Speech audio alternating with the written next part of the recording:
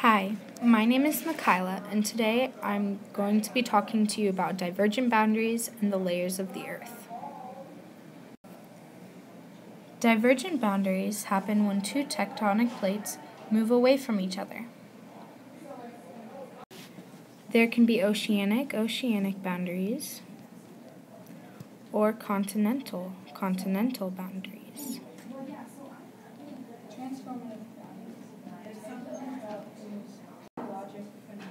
Convection currents are the engine that causes the plates to split, apart.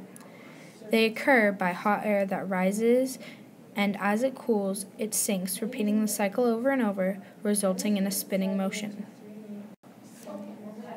Some geologic phenomena that happen at a divergent boundary are either volcanoes or earthquakes. A divergent boundary can also cause trenches. Some real like, like examples of this are the Mid Atlantic Ridge, which is this right here, or the Great African Rift Valley. There are five different layers to the Earth the crust, the upper mantle, the lower mantle, the outer core, and the inner core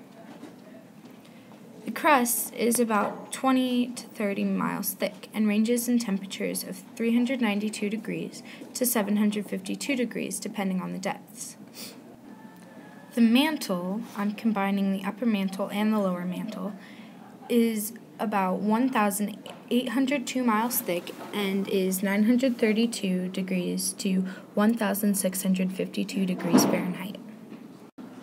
The outer core which would be yellow right here, is 1,400 miles thick and is 7,200 degrees to 9,000 degrees. The inner core is about 10,800 degrees and is 760 miles thick.